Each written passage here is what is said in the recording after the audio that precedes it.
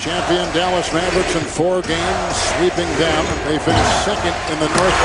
And then great jam inside by Durant. So early fireworks. He has struggled from the field with his scoring. Sefolosha picks up a foul. A lot of times you forget Kevin Durant is 6'10". This is one drill picking up his first foul. Didn't want to pick up that second. Adams got six. Kevin Durant. Kevin Practice, Durant. I think Derek Fisher had to go against Kobe Bryant.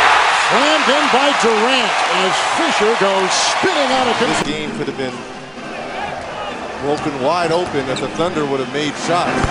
That's Kevin Durant. With Perkins in, given foul moments ago. Under a minute to play. Oklahoma City still with just one turnover. Good Perkins screen for Durant.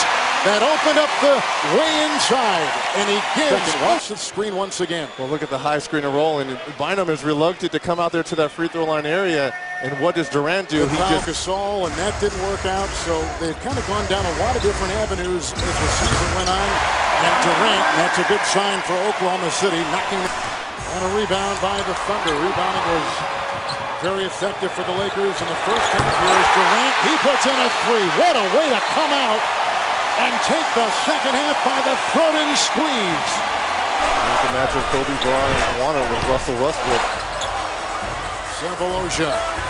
Durant for three.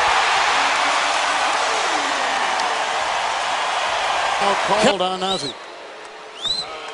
See, there's the split there by Russell Westbrook, and then look at the late rotations. I don't know how you leave Kevin Durant. As we find the Thunder leading the Lakers 98-68 on TNT.